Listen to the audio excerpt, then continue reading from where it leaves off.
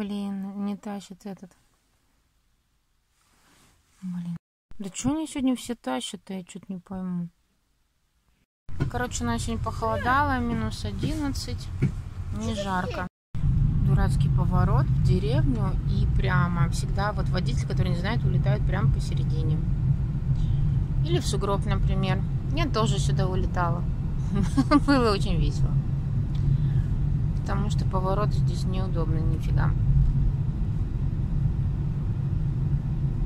Домики однотипные, тупорылые, настроили говна какого-то. Я вот может эвакуаторов вызвать? Вот люди ставят машины, в принципе, получается, на проезжей части. Если пару раз вызвать эвакуатор, я думаю, что люди больше не будут так ставить, потому что если ты едешь с двух сторон, ты просто не можешь разъехаться. Вот. А так как снег здесь не чистит, ни хрена, в принципе, то это очень тяжело разъехаться. У меня такое ощущение, что эта труба упала на забор. Ну, как она могла упасть? Откуда она там вообще.